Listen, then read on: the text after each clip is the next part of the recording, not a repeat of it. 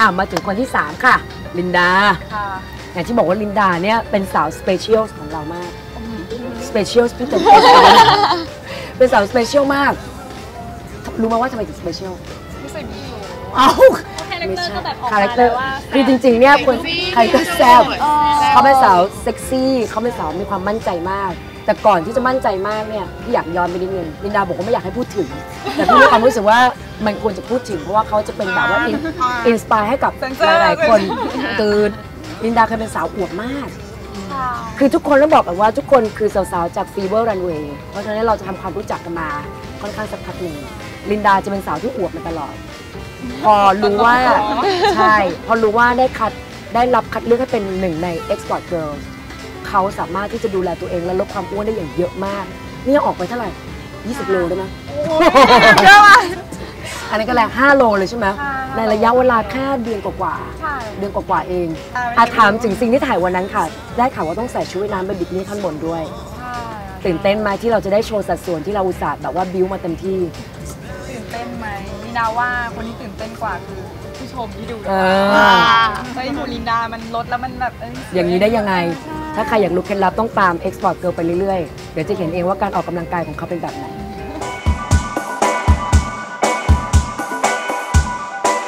สาวคนที่ 4 ของเราโบกี้ รถไฟของเราขบวนนี้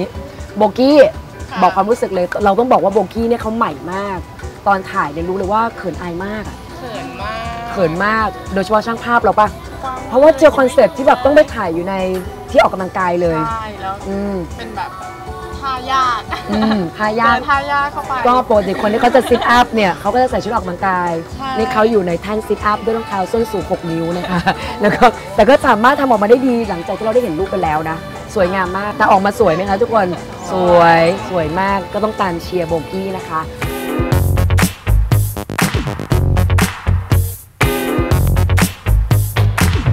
อ้าวสิงสาวคนสุดท้าย สาวห้องนอนของเรา บางคนบอกว่าเอ๊ะทำไมได้นุกได้อยู่ห้องนอน นุกต้องเป็นคนขี้เกียจแน่เลย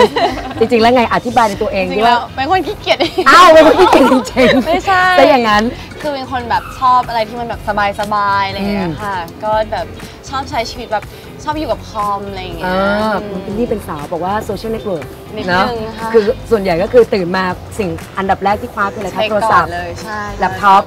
เดี๋ยวนี้คนเราเป็นแบบนี้แล้วนะพี่ก็เป็นแล้วเปิดมาฮัลโหล IG เออมันเหมือนกับกลายเป็นแบบว่า เอ้ย ลืมตาปุ๊บมือขวาไปเลยอะกลายเป็นหน้าอ๋อโทรศัพท์มาก่อนอะไรอย่างงี้นะอ่าโอเคก็คือจะส่วนใหญ่ก็จะติดเล่น ใช่ แต่ว่าชอบ activity ที่มันอยู่ในแบบในห้องส่วนตัวของเราใช่ไหม ชอบบรรยากาศมากกว่าค่ะแต่ตอนถ่ายเขาบอกว่าเซ็กซี่มาก โอ้ เกิดจะเป็นแบบว่า feeling ที่ดูแล้วมันดูแล้วมันไม่เซ็กซี่นะ แต่การถ่ายในห้องนอนมันเซ็กซี่ที่สุดเลยนะ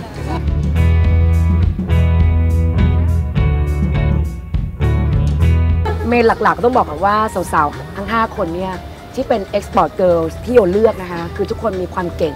มีความสามารถ ความสวยนี่ไม่ต้องพูดถึง แต่ความเก่งที่เราที่เราชอบในตัวสาวๆคือสาวๆรักเรียนกันมาก ทุกคนมีการศึกษาที่ดีจากมหาลัยที่ดีทั้งนั้น การที่จะมาเป็นสาว Export Girl ถึงบอกว่ามันคงไม่ง่าย ที่บางคนยังเรียนไม่จบยังต้องเรียนไปด้วยและทำกิจกรรมไปด้วยใช่ไหมคะ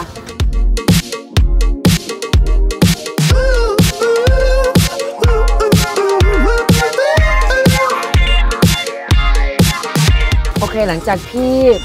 มอมน้องๆ ไม่ไม่ได้บอกมอมนะจริงๆเครื่องดื่มนี้ไม่ได้มีแอลกอฮอล์ค่ะเรามีแค่ผสมผสมโซดากับน้ำผลไม้ถูกต้องปะอะ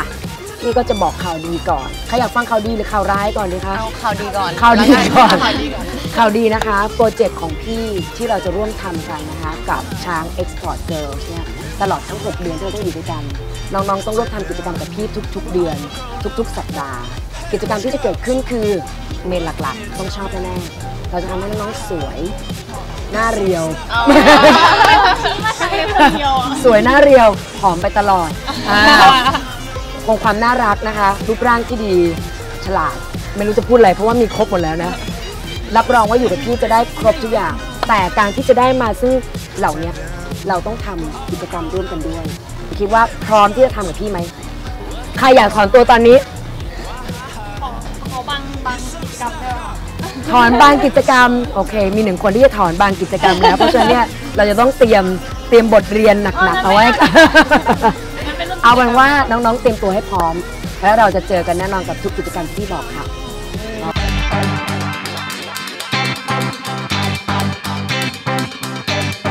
คนอื่นเขาก็มี character ของแต่ละคนนะคะ ก็ดูเป็นแบบคนละสไตล์กัน ก็ดูสวยทุกคนค่ะ ดูเก่งทุกคนค่ะ คนอื่นโหแซบทุกคน Export Girl ทุกคนน่ารักค่ะ ทุกคนน่ารักคุยเก่งแบบ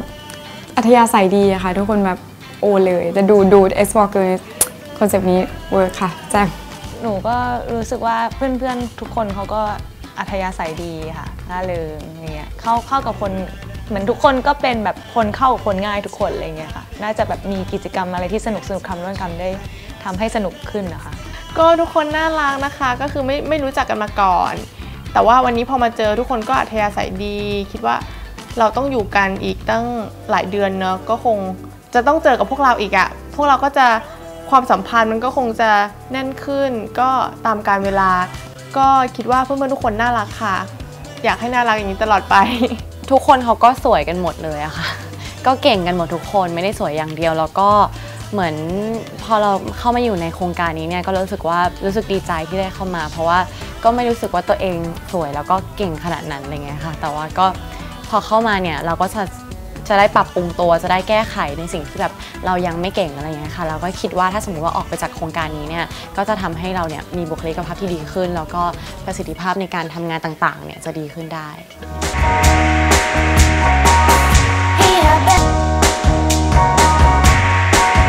และแล้วนะคะน้องๆทั้ง 5 คนนะคะก็ได้รับบีฟงานจากโยไปแล้วค่ะว่ากิจกรรมที่จะเกิดขึ้นนั้น มีอะไรบ้างคุณผู้ชมจะต้องตามเชียร์เขานะคะ และคอยให้กำลังใจอยากให้น้องๆ ได้พลาดกิจกรรมนั้นๆ เลยขอให้เขามีความตั้งใจและมีความมุ่งมั่นที่จะทำให้สำเร็จได้ค่ะ เอาละค่ะสำหรับ Export Girl ของเราตอนนี้พอก่อนค่ะ แต่ว่าเบรกหน้านั้นเดี๋ยวไปมันกับโยต่อจะเป็นมันที่ไหนนั้นต้องตามไปค่ะ พร้อมจะไปชิมนะคะพร้อมแล้วไปเลยค่ะ ยุ่ยเลยอะ ละลายในปากจริงๆ